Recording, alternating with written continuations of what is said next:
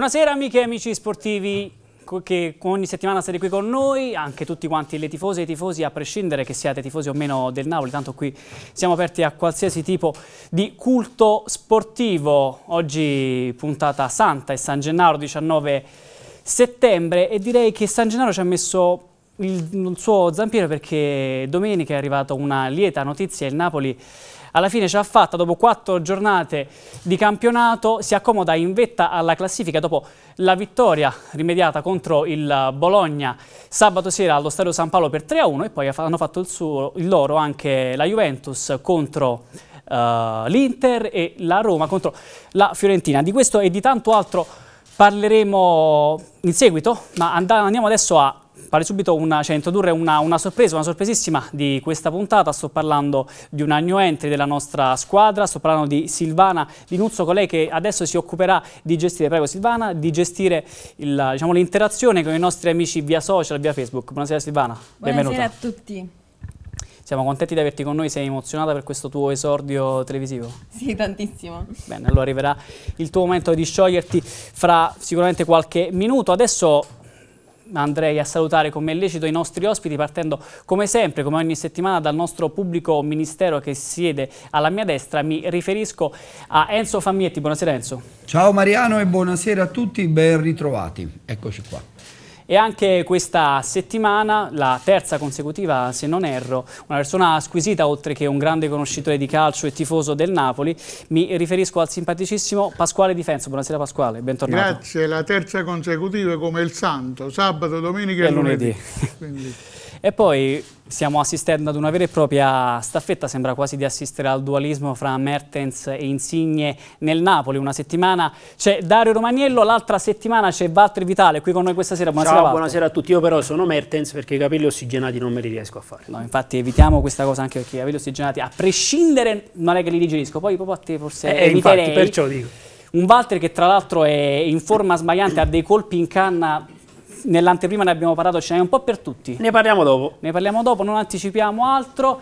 E se prima ho parlato di staffetta, signori, qui parliamo di un vero e proprio titolare inamovibile dell'attacco, della difesa, di, del calcio uguale per tutti a seconda del capo di imputazione. Sto parlando di colui che ha fatto del proprio sorriso guascone e della dialettica tagliente il proprio marchio di fabbrica. Mi riferisco a Francesco Infranca. Buonasera Francesco. Buonasera a voi.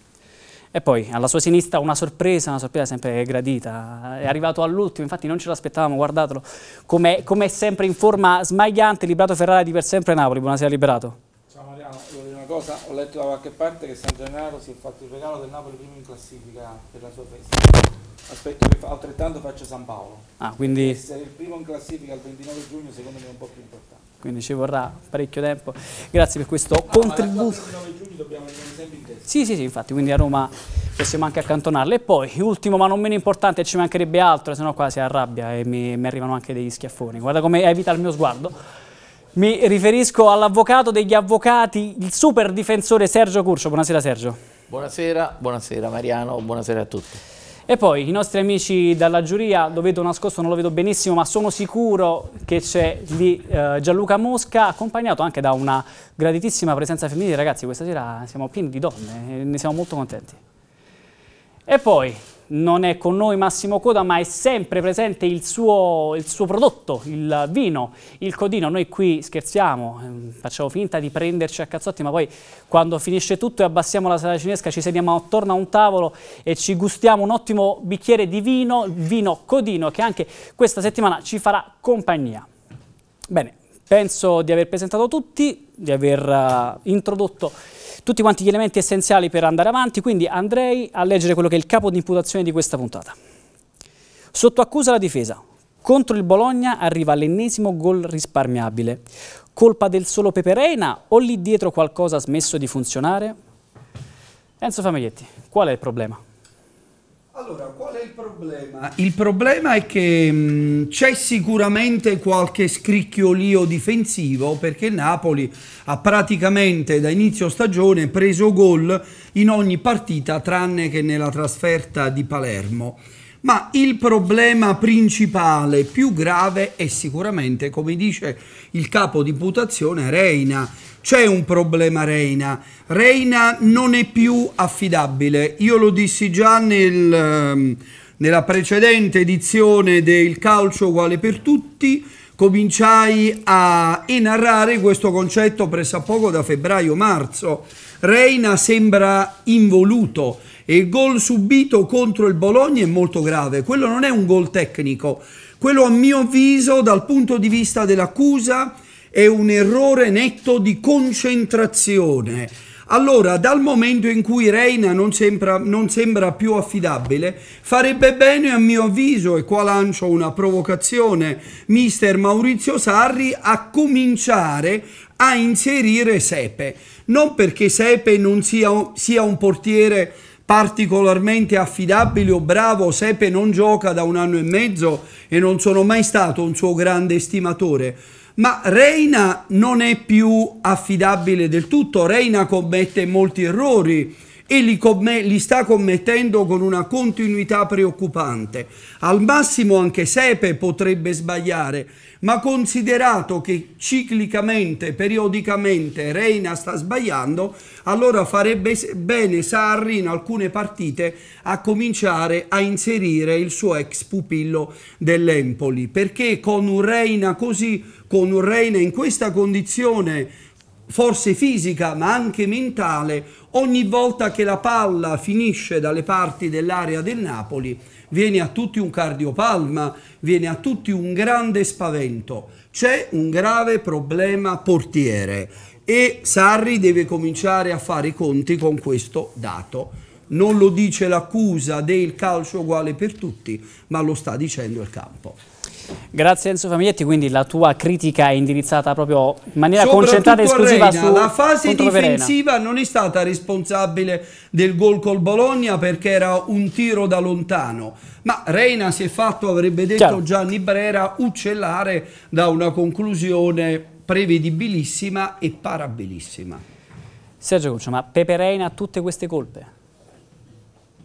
Io non mi alzo per la notoria mancanza di rispetto che devo avere verso il PM, il quale ancora una volta farfalleggia o vuole discutere sul sesso degli angeli. È vero, probabilmente questa volta Reina ci ha messo qualche cosina di suo, però io vorrei ricordare due cose che complessivamente un portiere nell'arco di un campionato ti leva, ma ti dà anche dei punti, io credo che al di là dell'attuale condizione psicofisica, mi viene da dire, vista l'accusa la, la, che il nostro PM eh, porta avanti da febbraio, da marzo, beato lui che riesce ad avere anche il dono della preveggenza sul nostro numero uno, eh, io direi che eh, il gol preso comunque subito domenica dal sabato sera dal Bologna è frutto di una situazione che invece è molto più ampia e che non riguarda soltanto Reina che in quel momento forse poteva anche essere un pochino meno concentrato ma io addirittura andrei però a vedere quella parata che poi Reina ha fatto in Champions partita. quando eh, praticamente quel tiro da lontano riuscì a deviarlo in calcio d'angolo e anche lì avrebbe potuto essere poco preparato o sulla parata fatta nel primo tempo contro il Bologna quando c'è stata anche una deviazione che è vero anche gli ha leggermente attutito la velocità del tiro. Io direi che è più in generale, visto che stiamo accusando Reina, ma che dobbiamo un po' difendere il tutto, visto che poi il Napoli ha regolato il Bologna in maniera molto semplice, che a un certo punto andrebbe messa un po' sotto accuso tutto l'impianto della squadra, quando sull'1-0 mi sembrava che gli azzurri stessero facendo una partita di allenamento piuttosto che chiudere la partita in maniera decisa. Quindi se c'è un problema in questo momento lo deve risolvere Sarri da un punto di vista mentale, non tanto né tecnico né tattico, anche se probabilmente su Verdi uno dei centrocampisti avrebbe potuto chiudere accorciare. quei 4-5 metri, accorciare prima ed evitare appunto una conclusione così eh, eh, facile, tra l'altro, anche se poteva sembrare anche abbastanza facile da parare. Ultima considerazione velocissima, questi palloni oramai da circa una decina d'anni sono ingovernabili. Se il PM avesse visto bene gli ultimi due metri di traiettoria del pallone, avrebbe visto che Reina si era spostato su una traiettoria che inizialmente il pallone gli dava e che invece negli ultimi due metri si è spostata, tant'è che lui ha toccato con la mano, ma col colpo era assolutamente alla sinistra, alla destra Bravo. del pallone. Quindi eh, io direi che anche questi palloni contribuiscono a far fare una gran bella figura ai nostri numeri 1. Quindi anche la fisica ci ha messo il suo. Grazie, Avvocato Curcio. Pasquale, vero è che comunque a prescindere da- dalle colpe, se sono di Reina o della fase difensiva della difesa, si tratta comunque di 5 gol subiti nell'arco di 4 partite, quindi forse un problemino c'è. Un, un caso proprio Reina non c'è, diciamo che c'è un piccolo caso, un casino Reina. Un casino. Come, diciamo, potremmo, potremmo dire questo se vogliamo. Per quanto riguarda la fisica a cui faceva cenno l'avvocato difensore, vorrei ricordare che eh, la fisica che ha condannato Reina l'ha salvato in un'altra occasione, sempre sabato, perché c'è stato un tiro di Zemaili che all'ultimo secondo si è alzato e che Reina non aveva visto esattamente come il tiro di, di Verdi, il quale Verdi ha tirato da lontano. Io, cioè, noi che non siamo addetti diciamo, ai lavori sul campo, magari non lo sappiamo che, eh, che Verdi ha, ha questa potenzialità, questo tiro, ma loro lo devono sapere, i difensori del Napoli devono sapere che, che- che- Verdi può scagliare quel- quella cagliosa. effetti- Oltretutto abbiamo visto Sarri nella, nella partita di, di Europa League che ha detto che lui non conosceva un giovane ucraino, subito si è dovuto documentare per vedere le sue caratteristiche. Mo se ti documenti sulle caratteristiche dell'attaccante ucraino, penso che tu debba essere documentate che sulle, sulle caratteristiche degli attaccanti italiani. Quindi, Poi eh, diciamo c'è anche questo poi problema di, di schermo davanti alla difesa che- di cui ha parlato Sergio. la è- difesa, la, è la difesa c'è- c'è- diciamo che è un 70% di colpa, però qualcosa lo concedo anche alla difesa, qualcosa poteva fare anche qualche, qualche difensore, che- no, qualche Hamsik difensore poteva, poteva fare qualcosa.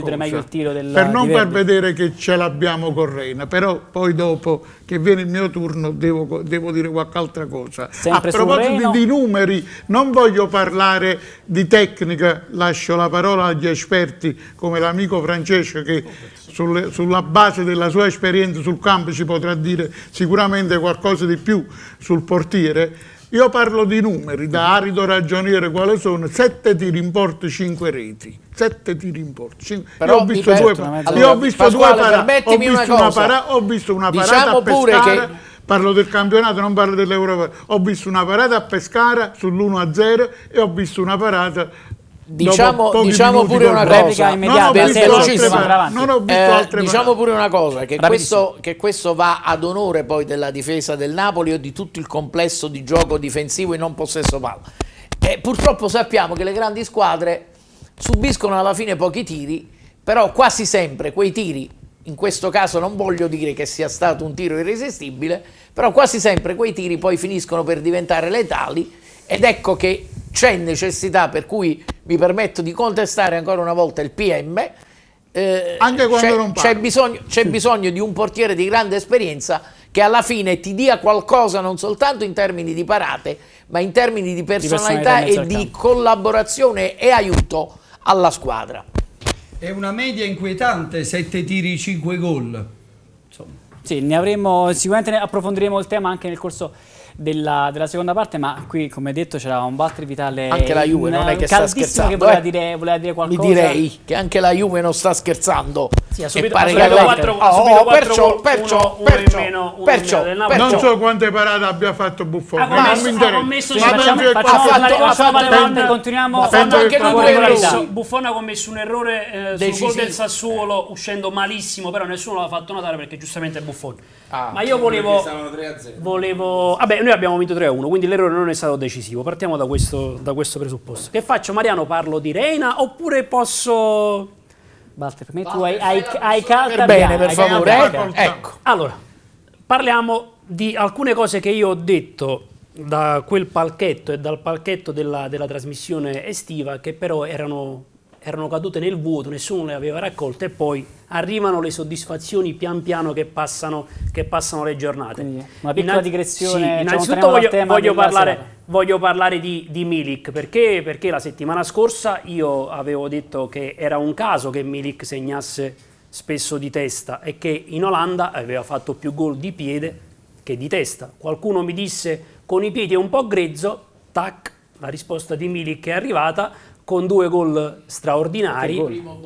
Il primo bellissimo di classe, non sei capace tecnicamente, quel pallone non lo alzi e non lo metti proprio lì. Se il portiere non esce non fa mai gol. Eh, allora, eh, allora ha sbagliato anche da Costa. Se, se, se con i se con i ma la Ma, storia non si eh, fa. È vabbè, successo che liberato. Milik ha alzato, ha fatto lo scavetto e ha fatto gol. Eh, sempre da quella tribunetta io ero stato l'unico forse a dire che non voleva Cavani perché il Napoli aveva fatto un investimento su Milik e quell'investimento andava tutelato. Adesso sembra essere scoppiata una Milik mania in città, tutti Milik, Malaik, adesso è diventato il nuovo re di Napoli, ma io lo avevo detto a suo tempo.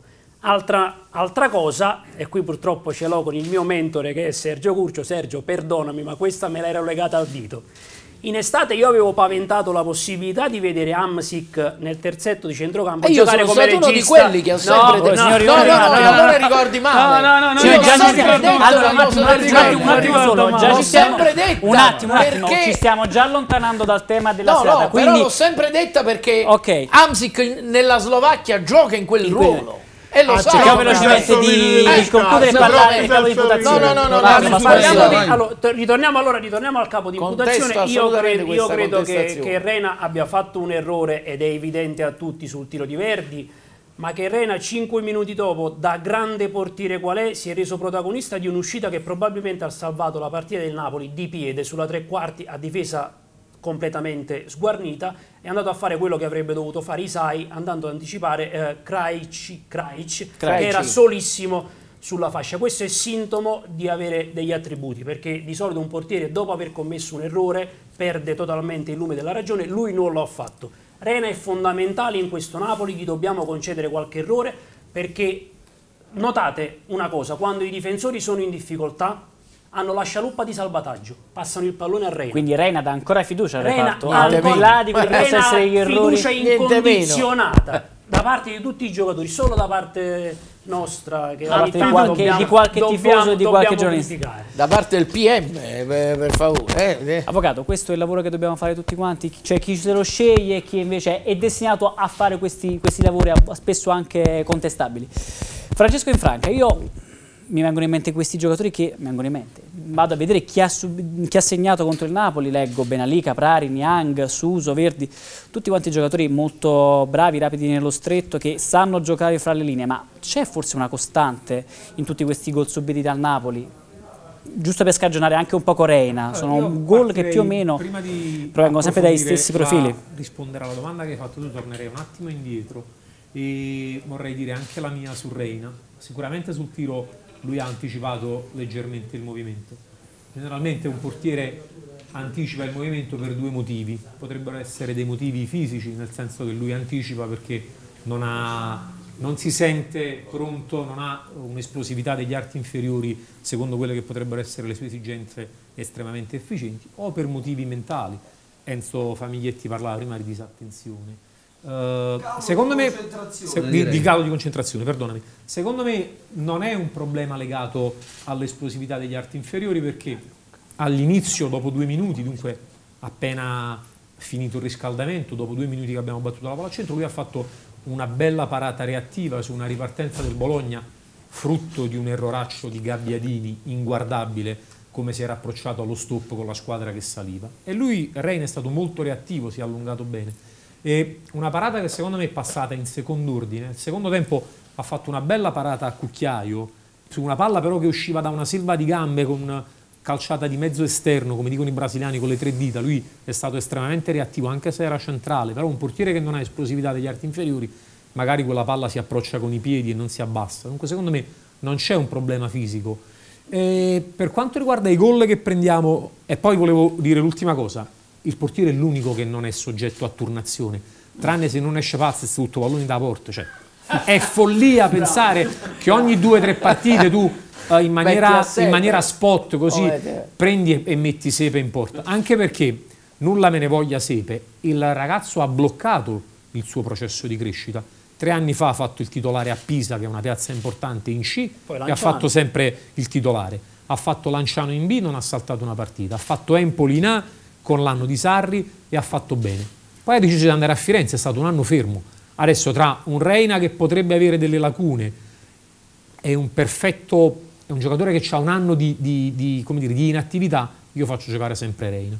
Per quanto riguarda poi i motivi che dicevi tu, l'analisi che facevi tu di, di, giocatori che si vengono a porre tra le linee e che mettono in difficoltà il Napoli, la risposta al motivo per il quale il Napoli ha difficoltà a difendersi l'ha detta tre settimane fa analizzando il post partita Sarri con il Milan dove ha detto noi abbiamo necessità di, di difendere, eh, non possiamo eh, sempre gestire perché noi dobbiamo invece sempre costruire. E domenica invece ha fatto una, un, dire, una spiegazione tattica del motivo per il quale noi prendiamo tanti gol. Ha detto noi siamo una squadra che va a prendere la squadra avversaria ai 20 metri nella loro, loro metro a campo. Non ci possiamo difendere bassi.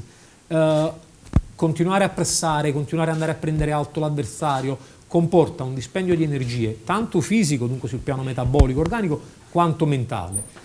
E, Quindi non è un, pro- non è un problema paghi, viabile. Lo paghi poi sul piano dei cali di concentrazione. Poi i giocatori, l'abbiamo detto un po' di tempo fa, il giocatore che gioca tra le linee, a prescindere il Napoli piuttosto che altra squadra, sempre. mette sempre in difficoltà perché si va a mettere alle spalle del tuo centrocampista e davanti, davanti ai tuoi difensori centrali a quel punto impone la scelta, o esce uno dei due difensori centrali, diventa tecnicamente una difesa a tre perché poi si devono stringere, o si abbassa uno dei centrocampisti, creando poi il buco in mezzo al campo. È stato un caso, Caprari ci ha fatto una capatant e, e Verdi ha fatto un bel gol, però secondo me è anche frutto di è stata una giocata occasionale, insomma. nel senso la giocata sicuramente è stata cercata, lui ha caricato il tiro, il Bologna l'ha cercato diciamo, è stato bene, un fulmine al ciel sereno che ha stupito tutti i re in primis. Che, che mo vogliamo, la, vogliamo buttare la croce addosso al pelato, forse anche come dire, per, per uguaglianza sì, sei, diciamo, sei un sodale del come portiere dire, spagnolo. Sono quello che più può essere accostato, ma giusto non per qualità tecnica, ma perché tenim la stessa palata. Insomma. Diciamo che andai dallo stesso barbiere.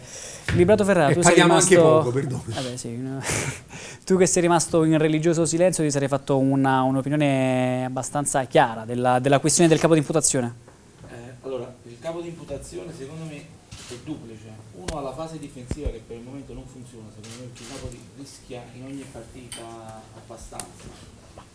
Secondo su Reina, secondo me ci sono dei dati oggettivi perché il gol subito sabato sera è stato per molti versi un attimo metteremo anche il microfono perché così ti sentiamo meglio. Allora il gol che ha subito sabato sera è stato per molti versi identico a qualche altro preso l'anno scorso. Mm. mi ricorda un po' quello subito contro la Juventus che ci è costato il campionato. Anche lì un tiro da lontano c'è stata la deviazione però lui non è stato molto reattivo prese un gol identico a Napoli contro il Genoa, se non ricordo male lo fece Rincon, anche in quel caso pallone a spiovere sotto la traversa.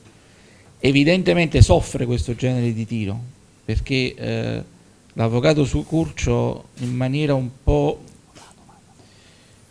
mi verrebbe di dire cialtronesca, ma forse è più giusto dire professionale perché fa l'avvocato, ha detto che questi palloni sono ingovernabili è vero. È verificato, eh? l'ho, l'ho il visto problema, persona, il, problema può, volta, eh? il problema può succedere a me, a te, no, vabbè, lo stesso Francesco in Franca, che eh, io e lui giocavamo in porta, tu giocavi anche in porta, che eravamo abituati a un certo tipo di pallone che eh, aveva vabbè, una sua stabilità. Questi qua sono giocatori che sono abituati da anni a giocare con questo pallone e quindi lo sanno benissimo che c'è questo problema. Guai se non lo sapessero mi fa sorridere amaramente un'altra considerazione, peraltro giusta, che ha fatto Francesco, quando ha detto ci sono i giocatori che giocano tra le linee che ci fanno soffrire, che ci fanno un buco, mi sembra che una capa tanto, una capa ho usato una ci stordiscono come diciamo. le tre fiere, una capa così. E allora se noi sappiamo questo, un allenatore deve provvedere. Se la squadra non è in grado di fare per 95 minuti pressing alto a 20 metri, a 80 metri dalla porta, deve studiare quelle contromisure per non soffrire troppo quando non è in grado di farlo. Eh, quindi il fatto di avere un problema non ti giustifica semplicemente perché ammetti di avere quel problema. Quindi non ci accompagnerà per tutta questo, la stagione se, no, la cosa, cioè, se il problema è ovviabile. Eh, io non, eh, non, sono fedele a mia moglie, glielo dico e quindi ho risolto il problema. No, continuerò a non essere fedele se quello è il mio problema. Se abbiamo problemi perché non siamo in grado di fare il pressing alto per 95 minuti o miglioriamo la condizione fisica no, e non ma... è possibile o studiamo un modo per cui si consuma meno e soprattutto allora. studiamo il modo per non subire queste cose qui. Eh, sembra un po' assurdo fare il processo a una squadra che è prima in classifica, ammettiamo. Sta di fatto però che, eh, che se ci diciamo quando siamo bravi e quando siamo belli non miglioriamo. Se vogliamo far migliorare questa squadra bisogna sottolineare quelli che sono i difetti e in questo momento il difetto non è certamente l'attacco perché al di là di Milik che sta facendo cose stra- 12 gol in 4 partite questo è un attacco che ha fatto 12 gol in 4 partite, ha fatto 2 gol in Champions in trasferta.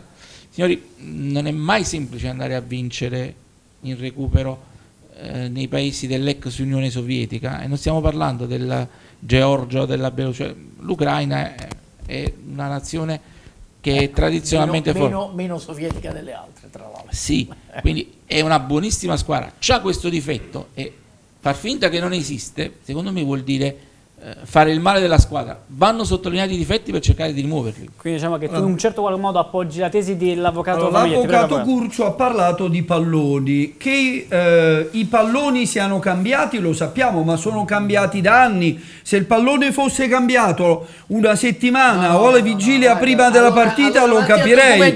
Però i palloni, a documentare, i palloni, questo pallone nuovo allora, per questo campionato allora, i, e cambiano ancora portieri, le caratteristiche statistiche. Questi portieri stanno lavorando da mesi, otto ore al giorno con questi palloni. Eh. Quindi il pallone non può essere sicuramente la ragione dell'errore di Reina. Qualcuno poi ha detto la difesa avrebbe dovuto pressare alto e impedire a Verdi di tirare. Signori, ma non si può impedire per 90 minuti agli avversari di tirare. È chiaro che ma gli che avversari dici? qualche tiro lo faranno. Ma che dici? Diciamo, ma se il portiere difende la difesa di Ma l'avversario vuole fare il tiro anche dall'area sua e cerca il tiro in portiere Ma che mi dici, PM? Se il portiere alta la soglia di attenzione la voce, nei 90 minuti, se gentilmente l'avvocato è un po' meno cafone nell'interrompere. Eh, sono cafone perché, perché dice delle, delle, delle amenità. Mi devo richiamare all'ordine sono delle amenità che non Sergio, ti fanno bene. Gli avversari in 90 minuti, una squadra bene o male, lo specchio della porta lo prende, lo centra con un pallone. È chiaro che con un, porti un portiere, con un tiro prevedibilissimo da 30 metri, basta che alza le mani come ha fatto Reina al posto di anticipare il movimento. È stato un, un, errore incredibile ed è ancora più un errore cercare di giustificare una papera che è stata sensazionale per carità. Immagino che Sergio abbia qualcosa da dire che però, è solo l'ennesima perché Reina sta sbagliando allora, ti devo chiedere di mettere in ghiaccio questa siamo... risposta perché esatto, devo un attimo lanciare la pubblicità quindi rimani, rimani caldo ci vediamo fra pochissimo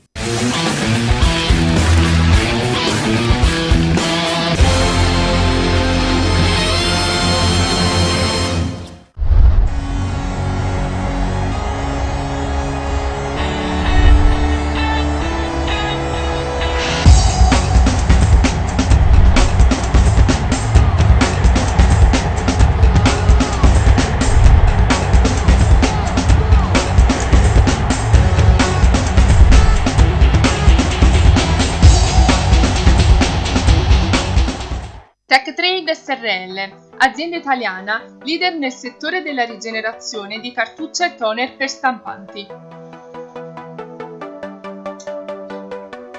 TechTrade SRL, via Masullo 37, complesso industriale Le Vele, quarto, Napoli.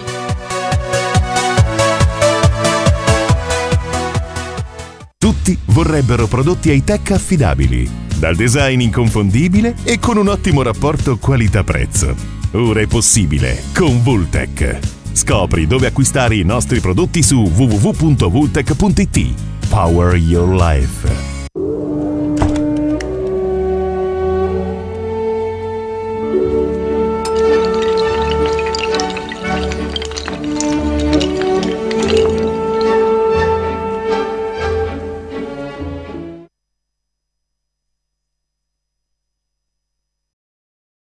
Un'emozione che nasce dal cuore. Per rendere il tuo evento indimenticabile, ti aspettiamo a Villa Iovis il Cigno, immersa in un'oasi di verde nel Parco Nazionale del Vesuvio. In un'atmosfera di gran classe. Villa Iovis Eventi ti offre un servizio di altissimo livello, sale con aria condizionata, cucina nazionale e internazionale. In via Cifelli, a Tre Case al Vesuvio, uscita Torre Annunziata Nord. Info 081 537 1455. villaiovis.com. Tra i migliori è probabilmente il migliore. Residenza Villa Santa Maria di Quarto, molto più di una semplice casa di riposo. Il nostro impegno è far sentire a proprio agio tutti gli ospiti, rispettando le loro necessità.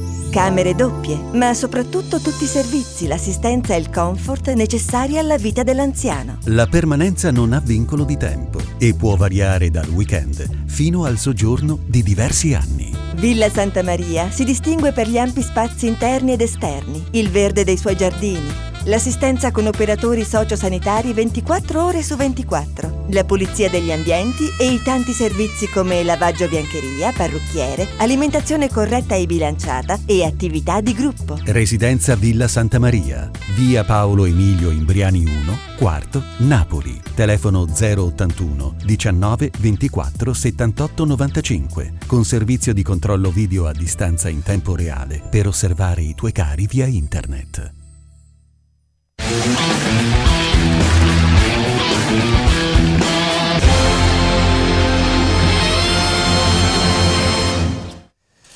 Bentornati, seconda parte del calcio è uguale per tutti, come avevamo anticipato adesso ci sarà il momento anche di interazione con i nostri amici del web, vi ricordo che potete comunicare con noi tramite la nostra pagina ufficiale di Facebook, scrivete sulla nostra bacheca oppure comunicate tramite messaggi, infatti penso che siano già arrivati dei messaggi, giusto Silvana?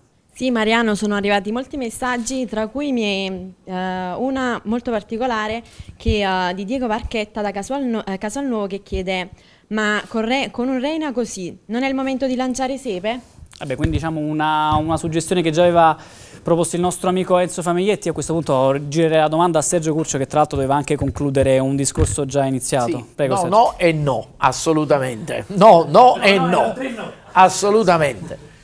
Eh, questione palloni. Uh, il buon ah, Famiglietti, solo no, no e no direttamente senza il buon Famiglietti eh, non ha ancora evidentemente eh, visto come abbia girato negli ultimi due metri la palla. Ai tempi nostri o diciamo fino a qualche anno fa, quando i tiri arrivavano forti, col collo pieno come lo ha calciato Verdi, eh, il pallone arrivava dritto senza avere delle rotazioni. In questo caso il pallone ha avuto una rotazione negli ultimi metri e si è spostato. Quindi io do sicuramente un concorso di colpa a Reina, ci mancherebbe, però è sicuramente una situazione in cui le attenuanti sono prevalenti sulle responsabilità. Eh, in secondo luogo voglio intervenire su Francesco che ha molto, direi molto cristianamente, eh, sollevato il, il, problema vero, eh, pur eh, facendolo intravedere, dal problema fisico che secondo me ha Reina. Reina non è esplosivo e quindi cerca di anticipare la parata e il movimento, proprio perché a mio giudizio, e qui bisognerebbe vedere se il problema muscolare che lo affligge al polpaggio, agli adduttori, è da vedere, è da vedere sia oramai in fase di eh, risoluzione negativa per lui purtroppo, o se invece possa eh, essere una situazione curabile che potrà migliorare e quindi riportarlo a quella che è la sua normale condizione fisico-atletica, per cui io tanti problemi, tante preoccupazioni non ce le ho. Quindi il fisico non aiuta in questo Ultima senso. situazione, eh, la difesa. Mm, il PM Famiglietti, eh, tanto per cambiare, ha detto che è normale che una squadra possa tirare. Io onestamente vedo che il Napoli, così come la Juve, devo dire, eh, subisce pochissimi tiri in porta. La Juve ne ha subiti 4 di, di reti in campionato, il Napoli 5. Io direi che è un falso problema finché la squadra dimostra di poter avere nelle gambe e nella testa la reazione che ha avuto dopo il pareggio del Bologna. Fammi finire, caro Mariano, Allora, la, verità, presto, la, verità, la verità è che questa squadra non ha un problema di autonomia sul pressing. Il problema è che questa squadra deve imparare a gestire ancora meglio quello che già riesce a fare nella testa. Mm.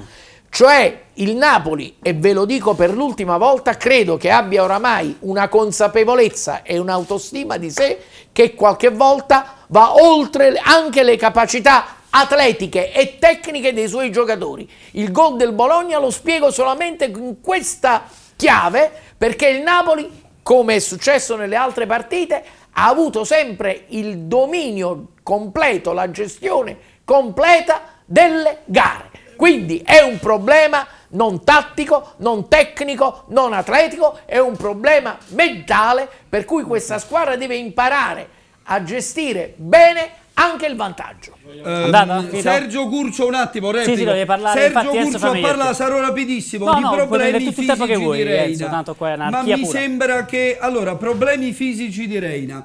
Reina mi sembra che, ha, che, abbia qualche difficoltà di rendimento, andando nel tecnico, di reattività, di esplosività dallo scorso inverno. Allora non è possibile che un portiere sia in difficoltà fisica muscolare per sette mesi di fila.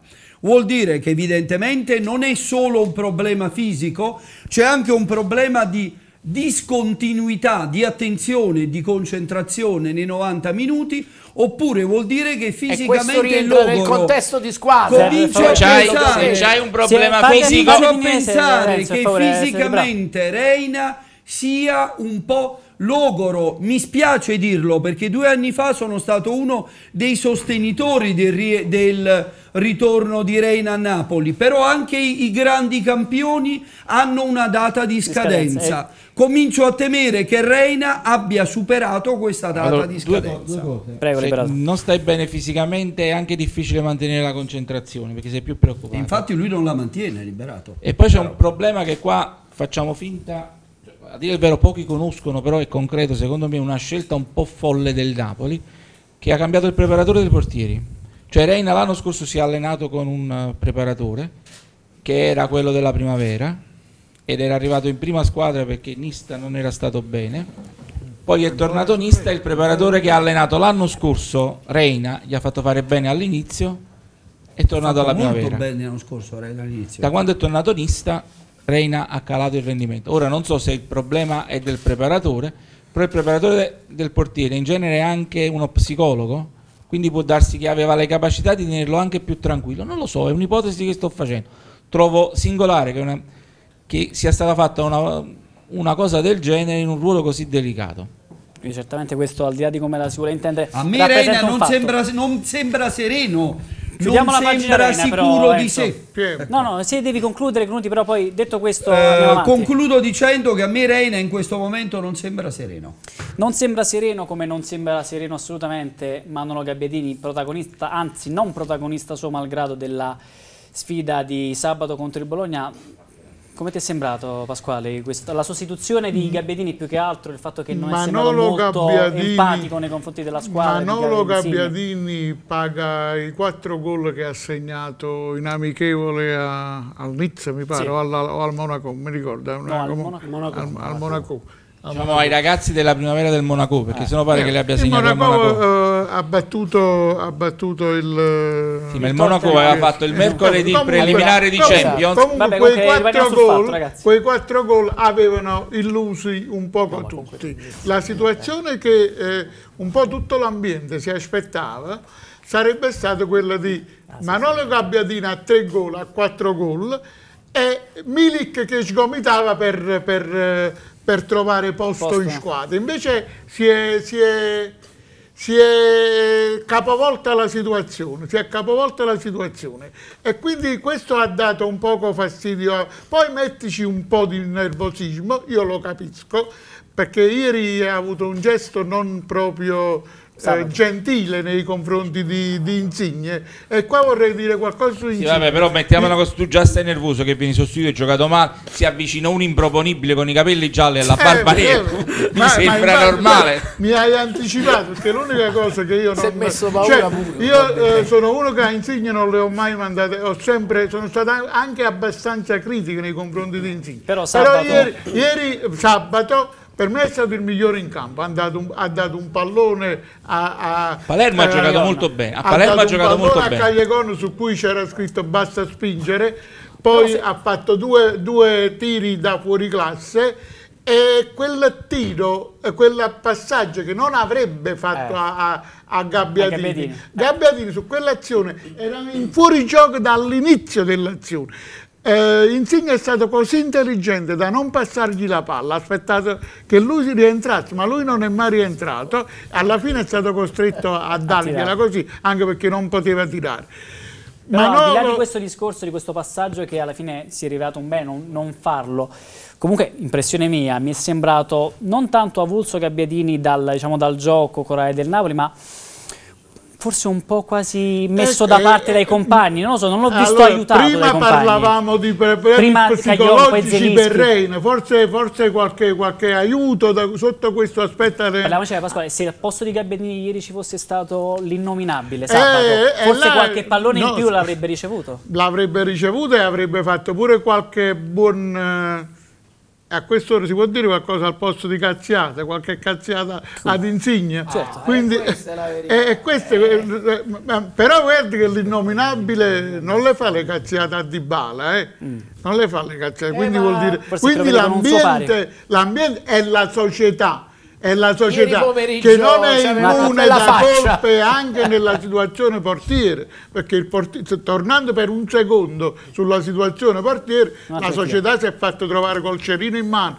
con tre portieri nessuno dei quali è adatto al ruolo che sì. è chiamato a ricoprire. Con molte incertezza alle spalle tra l'altro di, pur di rimanendo tre buoni portieri ma nessuno, nessuno de, anche per, respinta. anche per rispondere alla alla domanda, anche per dovere di cavalleria, Obiezione. per rispondere alla domanda che ci ha posto la nostra la gentile, eh, ha detto ma Sepe, e Sepe purtroppo non può, perché Sepe si è giocato, le, secondo me, le simpatie di Sarri l'anno scorso, quando non ha accettato di fare il secondo a, a, a, Reina e pensava di andare a fare il allora, titolare. Sarri avrebbe di... dovuto fare la voce grossa con la società in che... sede di mercato ma, e chiedere l'acquisto di un portiere affidabile. Sarri è un aziendalista allora e lo dico, però. non so se è, un, se è un merito o è un demerito, è un aziendalista, è quello quello che ti mette e poi... E cerca di valorizzare il capitale umano che ha a disposizione come sta cercando di fare con Gabellini.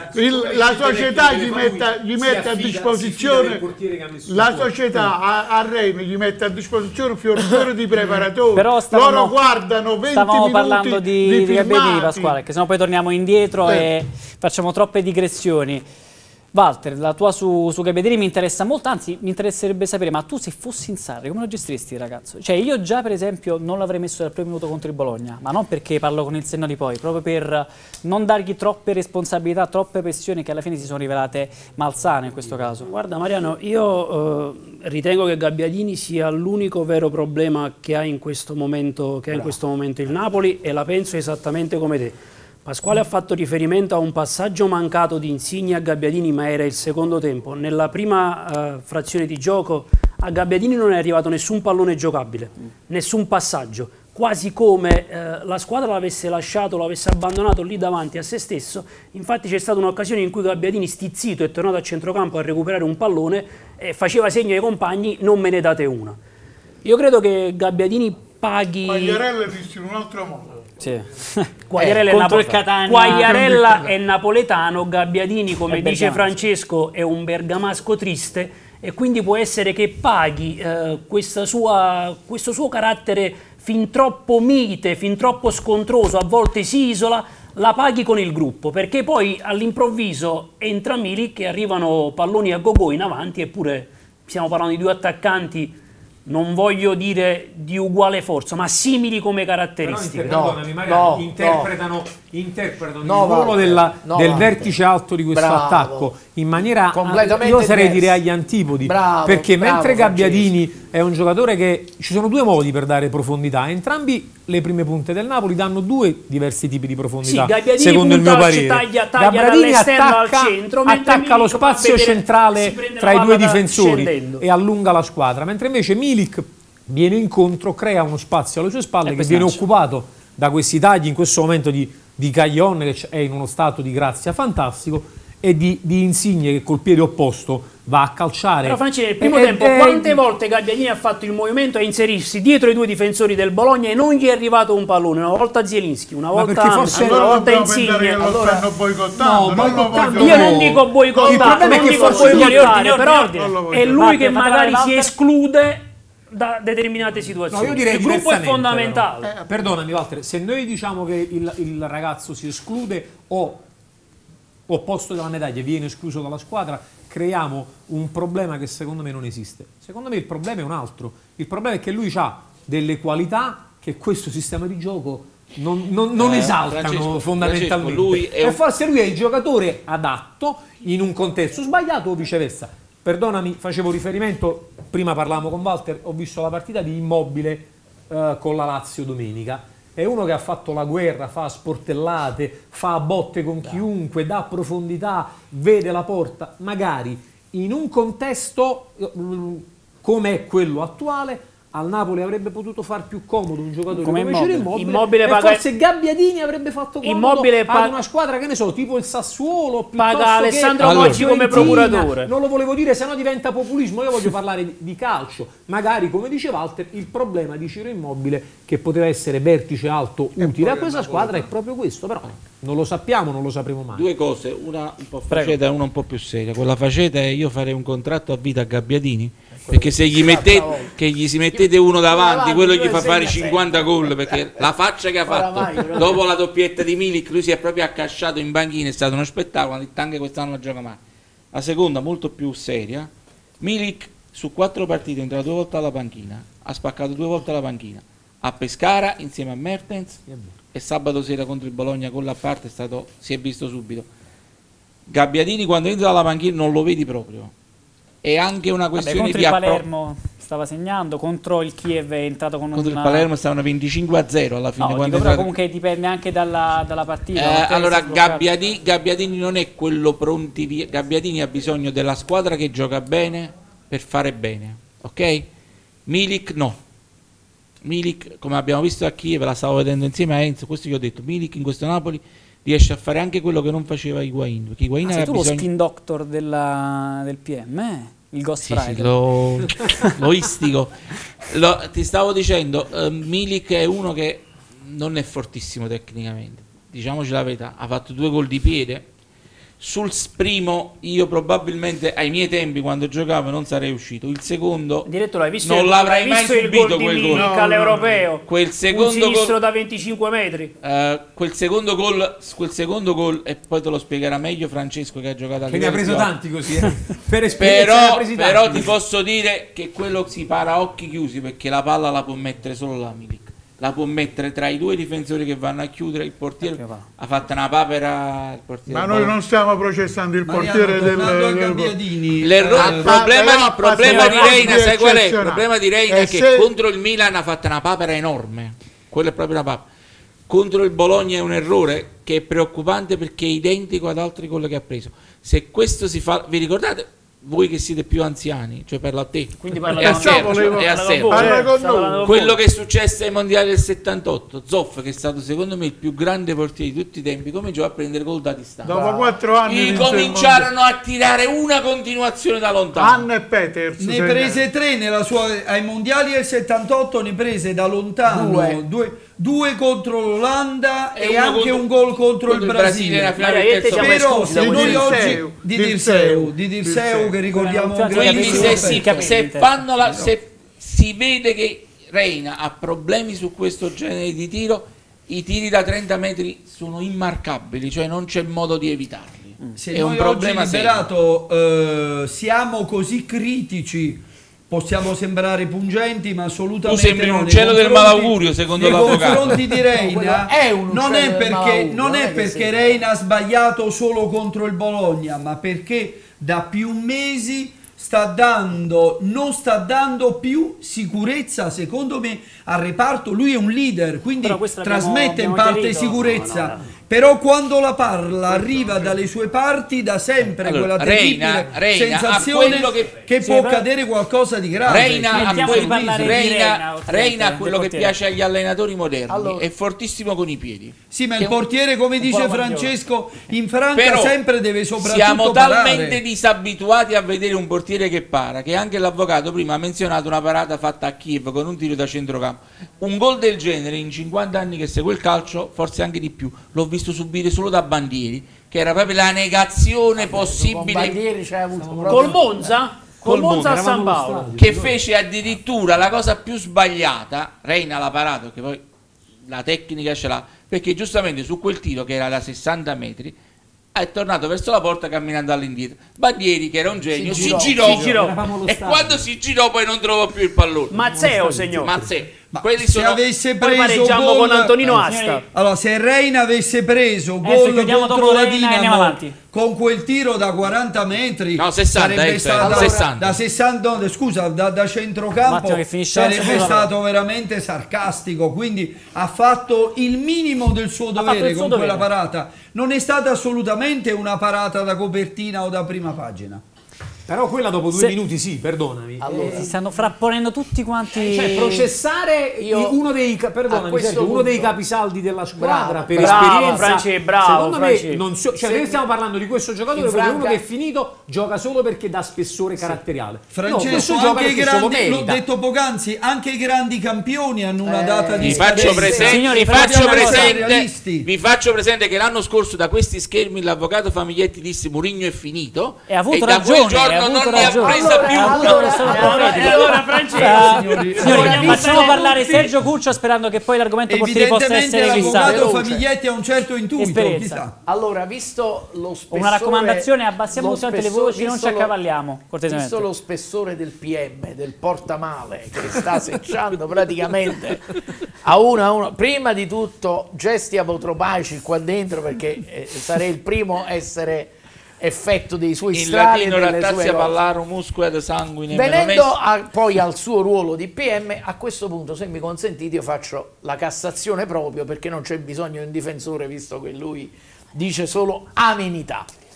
Non si può mettere in discussione la presenza di Reina né da un punto di vista caratteriale, da un punto di vista di personalità, da un punto di vista quindi di eh, trascinatore del gruppo, né da un punto di vista atletico, meramente atletico come portiere. In questo momento il Napoli deve assolutamente affidarsi più che mai a Pepe Reina, sperando che superi questo momento sicuramente di Che difficoltà.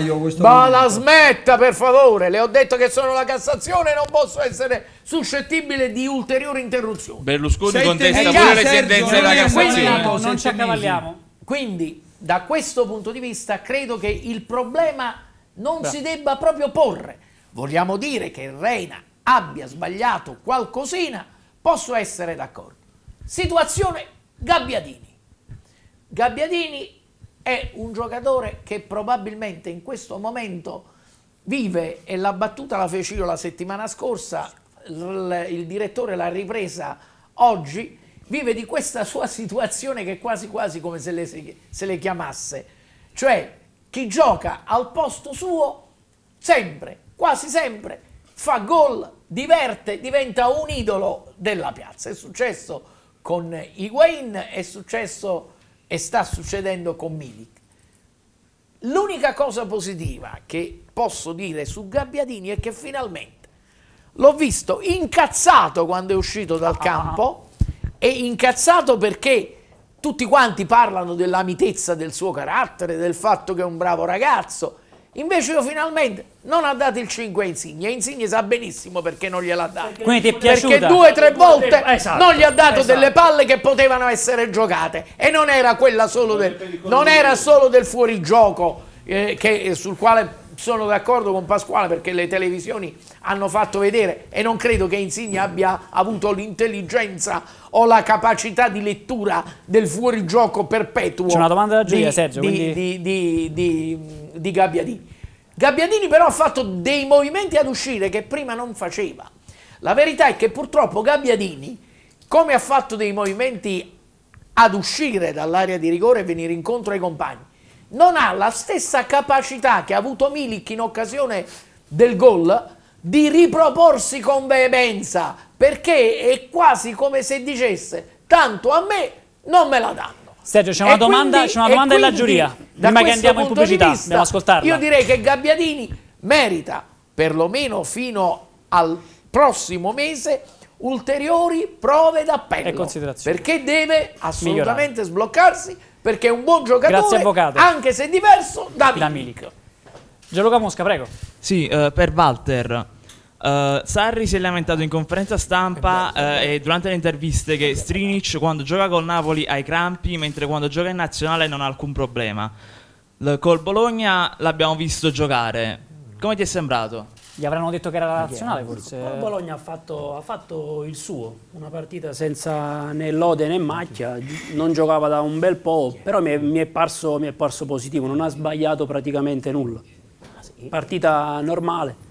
Poi magari si può discutere sul fatto che lui volesse, volesse cambiare area perché lo ha detto più volte, lui si aspettava di essere ceduto, però non è che possiamo cedere 25 giocatori per poi comprarne 26 avrà il suo periodo di gloria a gennaio quando, quando Gulam eh, ci lascerà per andare a fare A la meno Coppa che non d'Africa. arrivi questo famoso terzino ambidestro cercato a inizio calciomercato. Non, non voglio parlare di mercato perché siamo, siamo, siamo a serviva per settembre. a Sarebbe servito lo Zuniga di ieri. Isai Eh, serviva. eh, quella è un'altra situazione che non è stata gestita per niente bene dalla società. C'è Gli ambidestri secondo me non esistono. Per me i destri giocano a destra e i sinistri giocano Eh, a è sinistra. che- Finiamola con questo mito degli ambidestri. Ambidestri che noi- È un- Guarda, Il calcio è Francesco intervieni eh, tu, per adesso i terzini si stanno iniziando a Ma abituare chi lo sa che lo Certo, ci sono tanti esempi. Maldini, eh, Davide Santoro, lo stesso, Clemente ma perché Mastella. Ci sono tanti esempi di ambidestri. Signori, eh, devo chiamare il secondo stacco pubblicitario, ci vediamo fra pochissimo.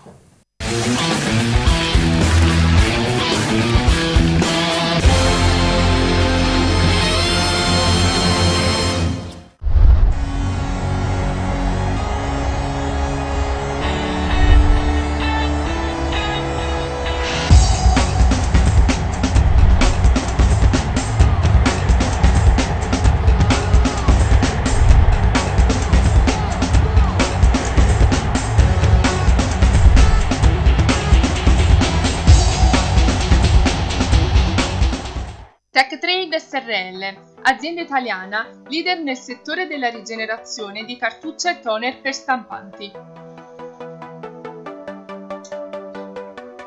TechTrade SRL, via Masullo 37, complesso industriale Le Vele, quarto, Napoli.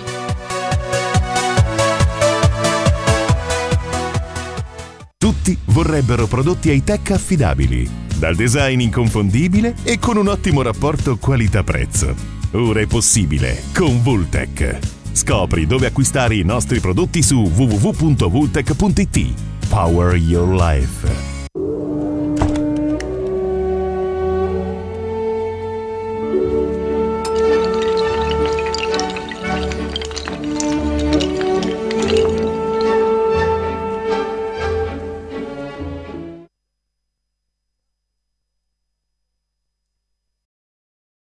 Un'emozione che nasce dal cuore. Per rendere il tuo evento indimenticabile, ti aspettiamo a Villa Iovis il Cigno, immersa in un'oasi di verde nel Parco Nazionale del Vesuvio. In un'atmosfera di gran classe. Villa Iovis Eventi ti offre un servizio di altissimo livello, sale con aria condizionata, cucina nazionale e internazionale. In via Cifelli, a Tre Case al Vesuvio, uscita Torre Annunziata Nord. Info 081 537 1455. villaiovis.com. Tra i migliori è probabilmente il migliore. Residenza Villa Santa Maria di Quarto, molto più di una semplice casa di riposo. Il nostro impegno è far sentire a proprio agio tutti gli ospiti, rispettando le loro necessità. Camere doppie, ma soprattutto tutti i servizi, l'assistenza e il comfort necessari alla vita dell'anziano. La permanenza non ha vincolo di tempo e può variare dal weekend fino al soggiorno di diversi anni. Villa Santa Maria si distingue per gli ampi spazi interni ed esterni, il verde dei suoi giardini, l'assistenza con operatori sociosanitari 24 ore su 24, la pulizia degli ambienti e i tanti servizi come lavaggio biancheria, parrucchiere, alimentazione corretta e bilanciata e attività di gruppo. Residenza Villa Santa Maria, via Paolo Emilio Imbriani 1, quarto, Napoli. Telefono 081 19 24 78 95, con servizio di controllo video a distanza in tempo reale per osservare i tuoi cari via internet.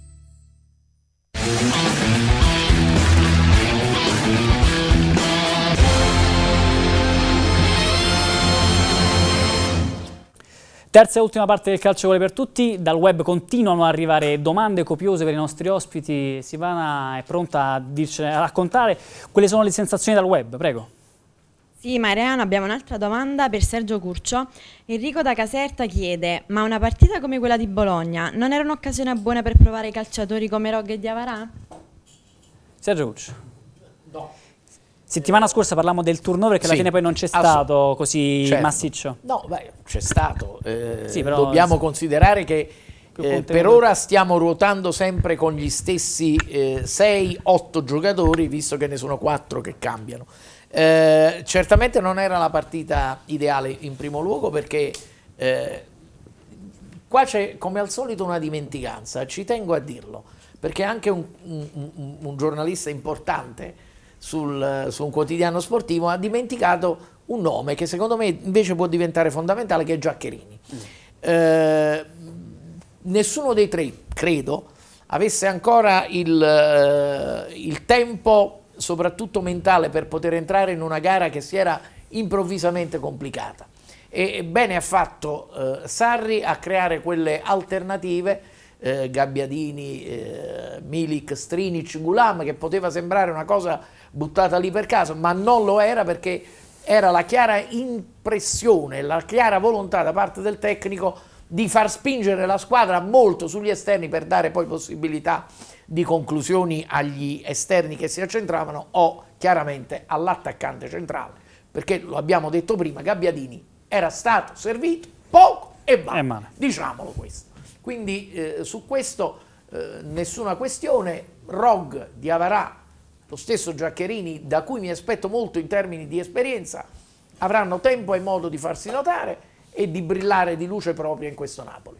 Quindi arriverà anche il loro momento. Ma adesso, parlando di quelli che sono i prossimi impegni che si affaccia ad affrontare il Napoli, la trasferta di Genoa difficilissima del turno infrasettimanale e poi la partita contro il Chievo in casa. Enzo Famiglietti, quale partita secondo te può essere più, più problematica per il Napoli? Io vedo, io io vedo vedo- decisamente, io eh, io vedo difficile la partita con... Attenzione, Io avvocato, vedo, se stai zitto, stai facendo un monologo, sembri Muppet Show, parli No. sempre tu, sei anche monocorde, voglio una- dire. No, non è Un botta e risposta, È una signore. cosa, volevo dire, visto che lui ha, ha- ha- ha previsto la fine La di fine di Reina, Mourinho, la di fine di Reina. Mourinho, la fine Ho la fine previsto mia anche come- che Higuain non era un leader Esatto, e tale si sta dimostrando alla Quindi, Juventus. eh, Non lui- le- non le non sbaglia è un leader. eh. ma lui perciò inizia con quel tono Io quasi vedo. da Sibilla Cumana. Io vedo! È questo che volevo far notare. Allora, il. Chievo, il Chievo attualmente è una delle squadre che giocano il miglior calcio in Serie A, è una squadra difficile da affrontare. Io vedo più in discesa la trasferta di Genova e più impegnativa la Perché partita pure con il Genoa però si sta comportando benissimo a questo inizio L'ho visto eh. nel domenica, nell'ultimo turno, sinceramente il Genoa non mi ha Vabbè. impressionato favorevolmente. Contro il Sassuolo è stata forse la partita, anzi non forse, sicuramente la partita peggiore da, da questo inizio di stagione, Io ma molto il Genoa di Juric e poi comunque la trasferta di Malassi non è mai facile, a seconda che si tratti Marassi di, assolutamente di non Genoa è a Sampdoria.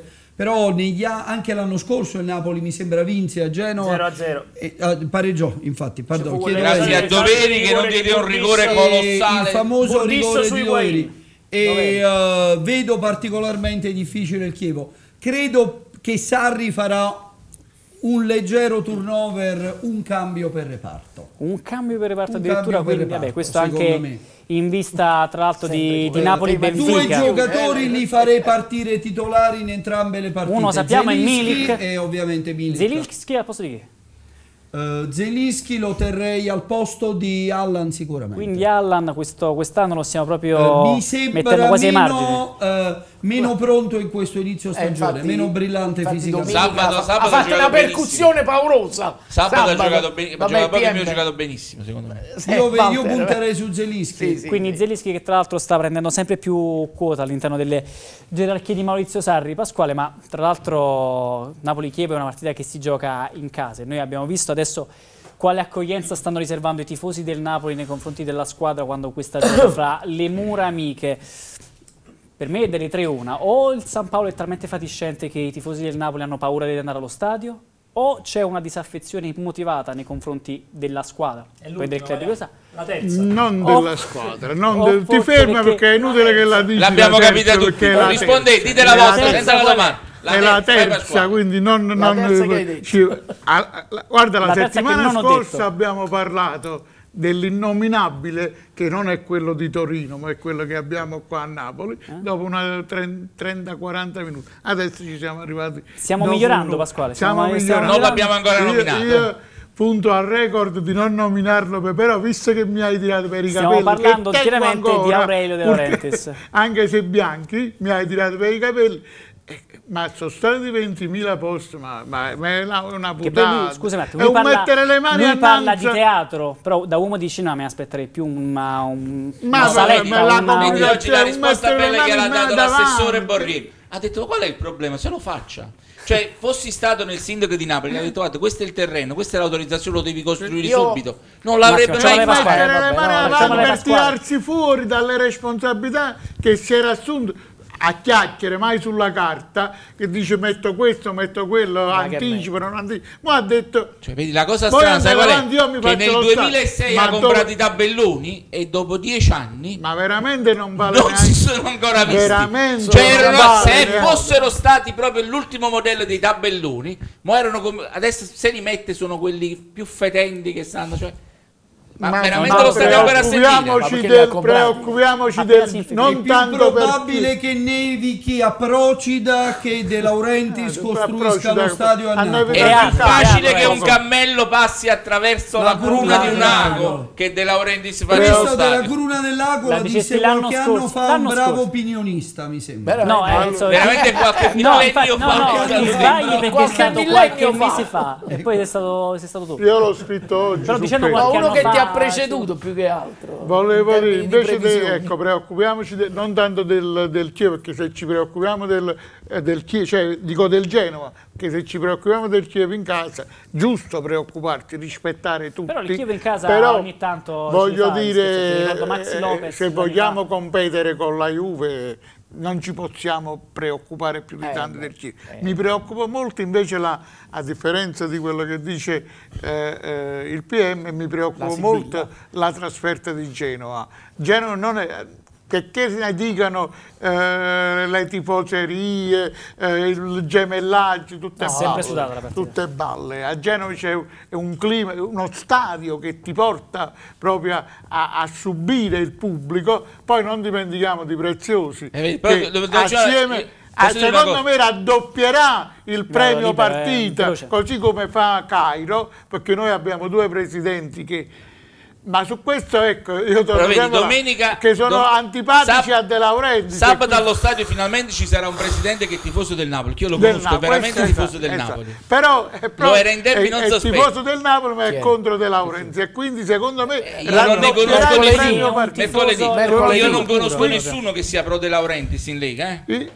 Beh, non lo so, però eh, siamo là- cioè, sul campo, eh, eh, se chiedete a, a Prezioso quale squadra vuoi battere, lui ti dice il Napoli, non dice la De Juve. Laurentiis ha un po' troppe antipatie per poter vincere lo scudetto. Quasi come te, Dovrebbe lavorare PM. un po' Ma sulle non- pubbliche quasi come relazioni. te. Non sa neanche scegliere perché si è scelto Tavecchio e Lotito Ma già litigate pure con Tavecchio e Lotito, eh, non ti e preoccupare. Con, la, con lo sono arrivati alle mani. eh, però, però li ha votati, per- vabbè, quello è una delle tante contraddizioni del Presidente, che oggi dice una cosa e domani ne dice un'altra. Walter Vitale, se poi vogliamo aggiungere anche un quarto, una quarta variabile al discorso che facevo prima, c'è anche il prezzo dei biglietti che comunque rispetto alla Champions non è, non è così alto, ma comunque si tratta di 25 euro, una partita contro il Chievo.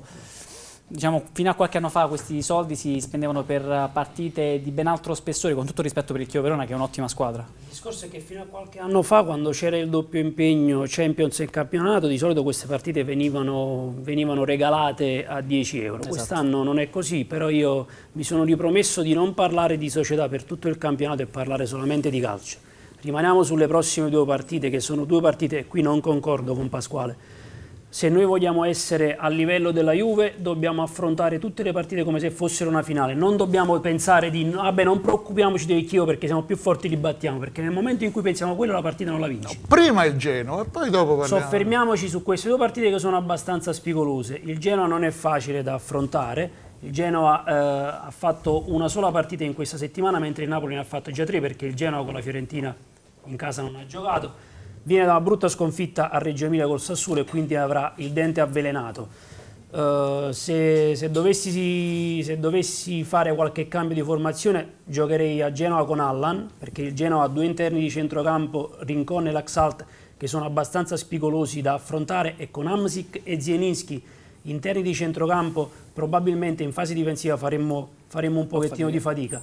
Giocherei invece con Zielinski ed Amsic in casa col Chievo perché tu in casa devi imporre il tuo gioco e quindi va bene anche la mezzala leggermente più spostata, più, più, posta- più, diciamo offensiva, dai, perché Zielinski ha caratteristiche diverse rispetto ad Allan.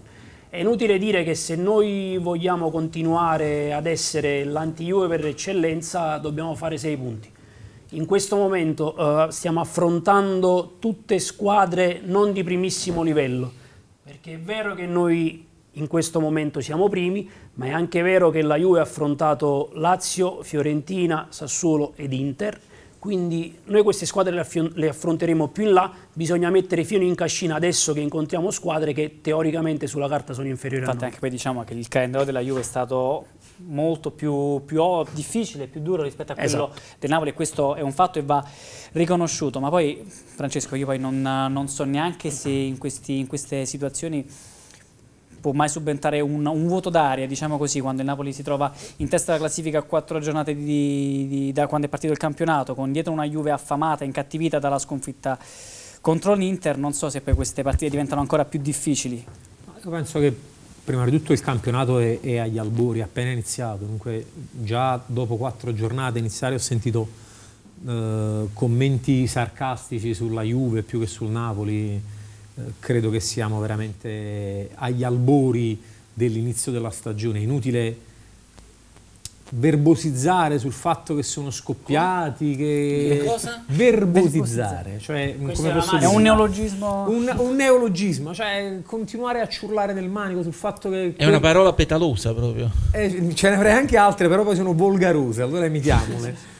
Eh, secondo me, come giustamente hanno detto anche gli altri commenti, se vuoi competere, o meglio, se vuoi accreditarti in maniera legittima come il competitor diretto della Juve, nonostante noi in questo momento siamo due punti sopra la Juve, non puoi, un punto, perdonatemi, eh, sopra la Juve non puoi sottovalutare eh, nessun impegno, anche perché parliamoci chiaramente, rispetto alla Liga, l'uguaglianza competitiva in A è su un livello qualitativo medio-basso, può capitare che tu perdi a Chievo, così come può capitare che la Juve perda col Sassuolo, così come può capitare che, non so, stavo dicendo l'Inter, ma l'Inter è una squadraccia che non ce ne vabbè. voglia già No, meno. non sono d'accordo. No, sto scherzando, sto scherzando. Può capitare che la Roma non abbia il rigore alla fine. No, può quindi- capitare che, che tu comunque la partita la devi giocare in ogni caso, a prescindere eh, da quale sia l'avversario della domenica. Però un- una cosa mi conforta, a prescindere da chi noi affrontiamo, siccome il Napoli ha un canovaccio ben delineato, un sistema di gioco che è quello di, di imporre il proprio gioco, di produrre gioco piuttosto che, eh, come dire, sfruttare gli errori della squadra avversaria, fargli gol e poi avere un atteggiamento, come dire, conservativo, remissivo, eh, direi che se davvero vogliamo accreditarci come i più diretti concorrenti rispetto ad altri per risultati importanti, presumo che Genova e Chievo non debbano essere prese sotto gamba e presumo che il gruppo non prenderà sotto gamba questa, questo duplice impegno. Per quanto riguarda invece il passaggio sul caro biglietti, io sono dell'idea che il calcio sia di chi lo ami, eh, dunque di chi va allo stadio, di chi, io ne conosco alcuni, eh, fanno anche tre turni al lavoro per comprare il biglietto della Champions al figlio. Però il calcio è di chi lo ama come sentimento, ma il diritto di proprietà è innegabile. Se colui il quale detiene il pacchetto di maggioranza di qualsiasi società, lo Tito ha fatto lo stesso, ragazzi, lo Tito ha desertificato l'Olimpico. Noi vogliamo tanto criticare il buon produttore romano, ma finora i risultati gli stanno dando ragione.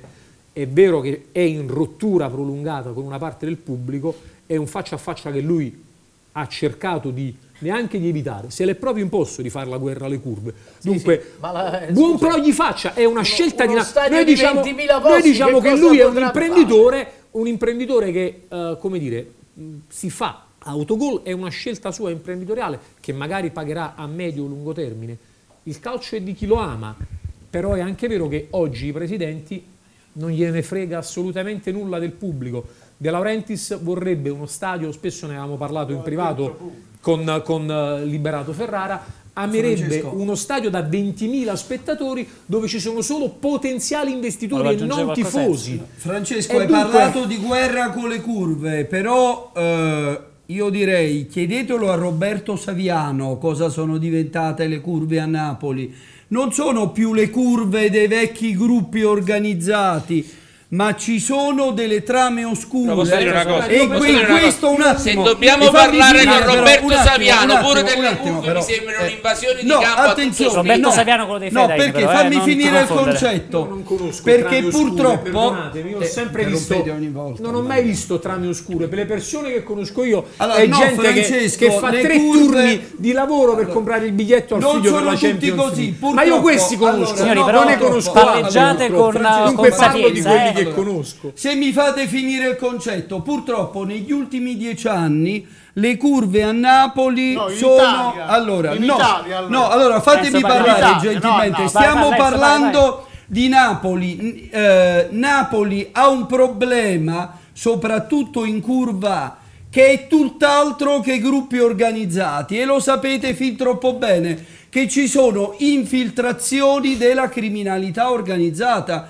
e quindi io che sono il primo eh, polemico e critico nei confronti di Laurentiis dico che De Laurentiis per quel che riguarda alcune realtà fa, sta facendo bene a non dialogare con certi poteri che purtroppo sono preponderanti da alcuni settori dello Stato. Velocissimo Io, Francesco Infranca. Perdonatemi, voglio ribattere, non per fare del qualunquismo legato alla tifoseria, perché non è che ci parte la curva, però presumo... da una perfetta edizione perché presumo, perdonatemi, se è vero che c'è a Gender System in curva 50 euro, lo può cacciare sicuramente chi ha, una disponibilità, no, no, chi ha una disponibilità economica Tra e chi ha una disponibilità economica no, ma non va in curva, va in tribuna e paga anche gli 80 e i 100 euro. Io credo che parlare di, se, proprio, se poi De Laurentiis si vuole ergere a caposaldo di contro la criminalità, napolitana, la criminalità napolitana, penso che l'ultimo che lo possa fare sia De Laurentiis e il primo che dovrebbe intervenire è la magistratura Bravo. ordinaria.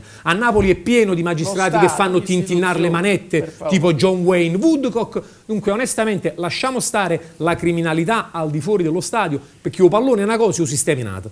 Che poi parla, si, parlava, si, parlava, di autogol. hanno scritto anche Penso, molti veloce. quotidiani nazionali. molti quotidiani nazionali hanno, hanno scritto anche altri Signori, tipi di animali. Che la curva a Napoli è diventata io una letto, piazza. Io ho letto di infiltrazioni dell'Andrangheta per lo Juventus Stadium, esatto. non della curva. Ma stiamo parlando. Allora, non parliamo di tutte le che non ci sta arrivando segnacci dalla. Che non vuoi avere a che fare con loro, è giusto che però devi portare gente allo stadio è sacrosanto. Io imprenditore, se ho un buon prodotto, il Napoli Calcio è un buon prodotto, primo in classifica, e non riesco a vendere i biglietti, vuol dire che non li so vendere. Una politica dei prezzi folli ti porta a un danno tecnico perché tu hai bisogno del pubblico allo stadio ti porta a un danno economico nell'immediato, perché tu incassi meno di quando incassassi se vendessi 10, 15 e 20 euro tutti i biglietti dei settori, ma anche per il futuro, perché tu togliendo la gente dallo stadio te la perdi anche per il futuro. Che poi tra l'altro si parlava di autogol, ma De Laurentiis l'ha fatto proprio in diretta tv sabato sera che ha detto che non andrà più allo stadio perché non si riesce a godere Ragazzi, la partita. io, eh, e poi Eh, queste- queste Walter, Walter ha detto che lui si è predisposto il- di non parlare altro che della squadra. Io ho fatto un voto a me stesso, non so a sentire quello che dice De Laurentiis, perché mi sembrano tutte, come direbbe lui, fregnacce assolute. Però le dette- commenti su Facebook, eh. mi diverto, seguo, a, mi diver- mi diverto a commentare certe cose perché sono fuori dalla grazia di Dio. Non puoi dire lo stadio non si vede un tubo e metti la curva a 40 euro. Forse allora la colpa non è di No, è Reina. troppo lontano. No, forse forse, la non è di in Reina. Forse la colpa non è di Reina che non vede il pallone, ma è che dallo stadio non si vede niente. Quindi anche dal campo non si vede niente. Cioè io non conosco nessuno che vende un prodotto e dice non venite perché non si vede niente. Cioè questo veramente è fuori dalla grazia. E c'è qualcuno che dice che è un buon imprenditore. Questo è uno fortunato, ma è un accattone. Accattone non in senso dispregiativo, ma è uno che campa alla giornata. Nell'accezione positiva del termine Eh, accattone, è chiaro. Perché cioè, a un certo punto lui Abbiamo rivalutato un sostantivo. Eh, io- termine cinematografico, io, io, però- io e Mariano ci chiamiamo Un in continuazione cialtrone in, tempe- a- in un- In termini, sì, affettivo. Cioè questo è uno che secondo me veramente non sa di, ma di cosa parla. Cioè ha fatto una società e si lamenta che non aumenta il fatturato. E, io, E non fa niente. e non fa niente per aumentare il fatturato perché allontani la gente dallo Stato. Non c'hai un responsabile dell'ufficio marketing vero che non sia il ragazzino che tenevi alla Filmauro. Non tieni niente. Ma come pensi che aumenti il fatturato? Non vai affamando la questua perché se tu mandi un, Beh, un considerato che il Napoli Veloce sta andando, ha iniziato molto bene in Europa, c'è da curarsi che di qui a febbraio Ma arrivi che qualche dodi- nuovo sponsor, Piano. ma la vedo molto molto Ma difficile. come arriva lo sponsor? Hai messo, hai messo la, la notizia su Briccabrac che cerchi un nuovo sponsor. Devi avere chi li conosce. Devi- cioè il Napoli no- perché è l'unica squadra di un certo livello che in 12 anni non ha fatto liberato gli un'amichevole. sponsor, i grandi marchi internazionali si conoscono.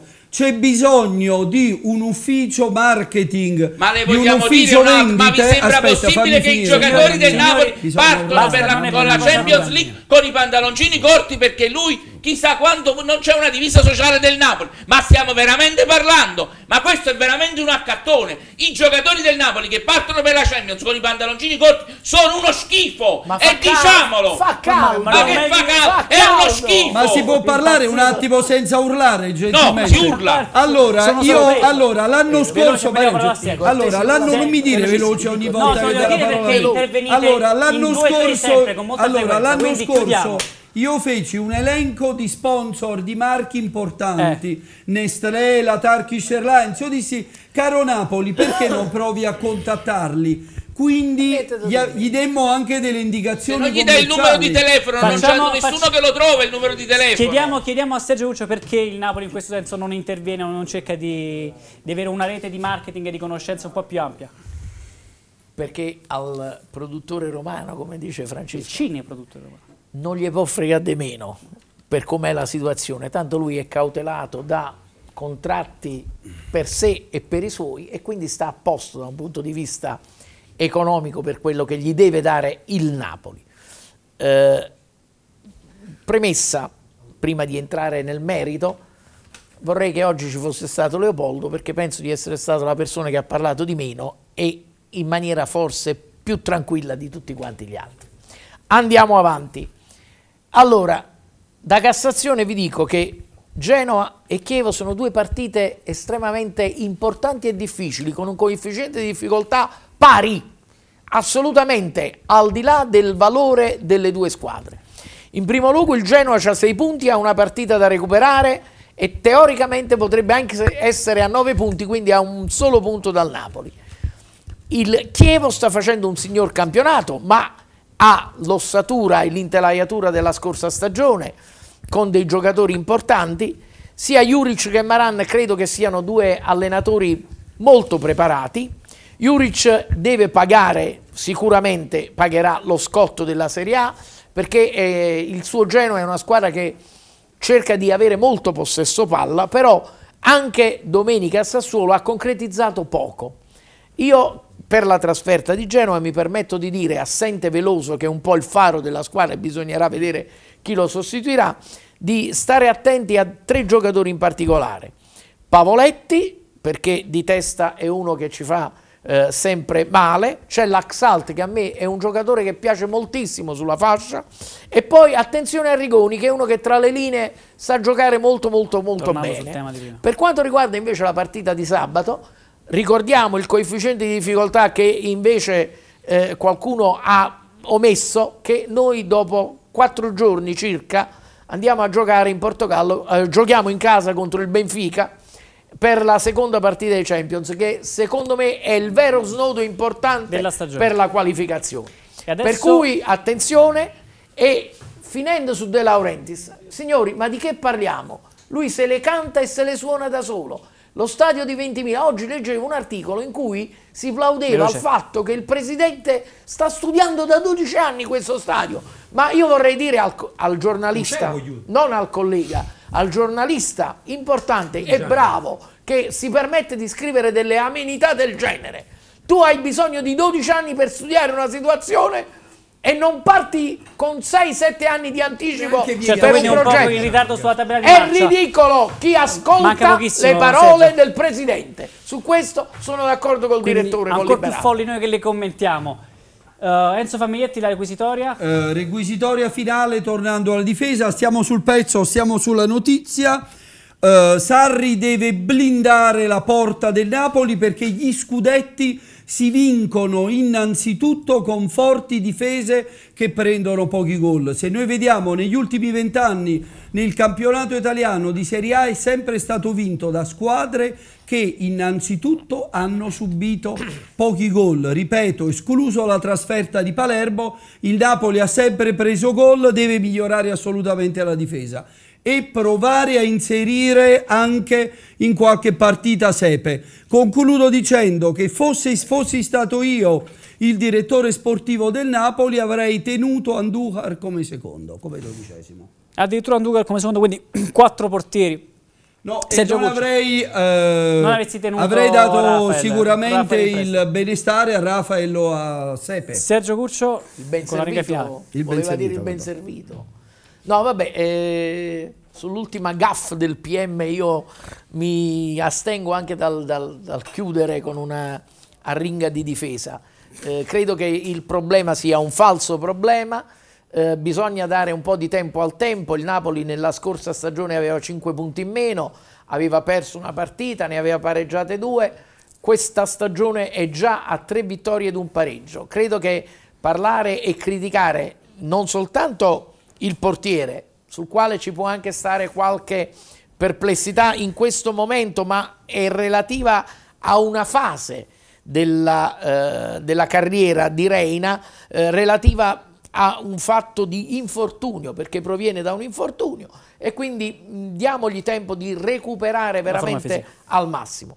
Assolutamente niente da dire sulla fase difensiva, perché eh, questa è una squadra che si propone e ripeto, l'unico problema che ha il Napoli deve capire quando deve chiudere le partite senza gigioneggiare, senza fare come sabato sera contro il Bologna, che sembrava si stesse assistendo, talmente era la differenza di qualità e soprattutto di caratteristiche di organizzazione tra le due squadre, il Napoli deve pensare a chiuderle prima. Quindi un po' più di- un po' più di così- cattiveria. Perché solo così potremo far tacitare i PM di turno e E soprattutto altri queste persone che sono diventate delle sibille. Oramai. Grazie avvocato Sergio Urcio, appuntamento con te settimana prossima per un'altra puntata della- del calcio vale per tutti. Grazie anche a Liberato Ferrara che stasera francamente mi ha stupito, non l'ho mai visto così arrabbiato, infatti non so, sono, sono alquanto intimorito, cercherò di non farlo mai arrabbiare.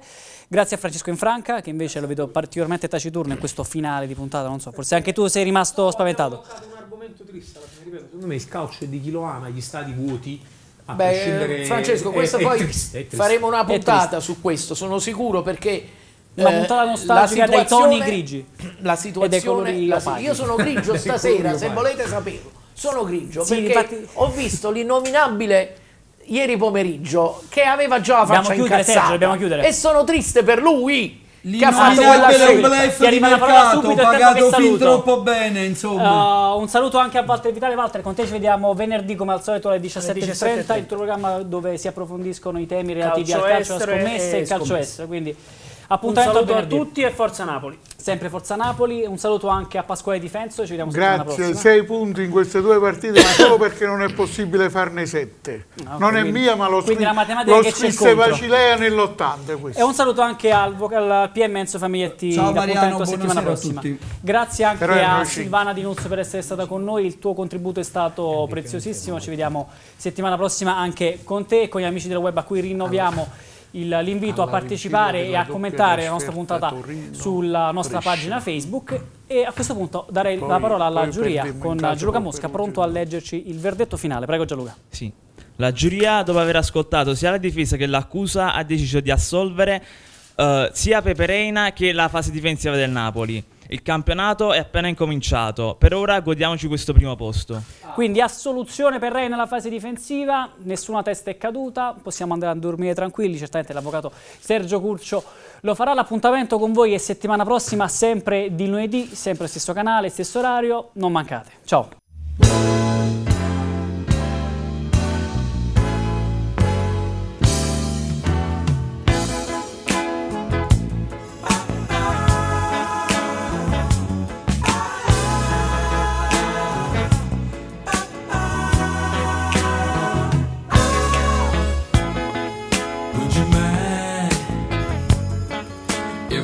If I kissed, if I held you tight in the morning light? Yeah. Would you mind if I said how I felt tenderly tonight?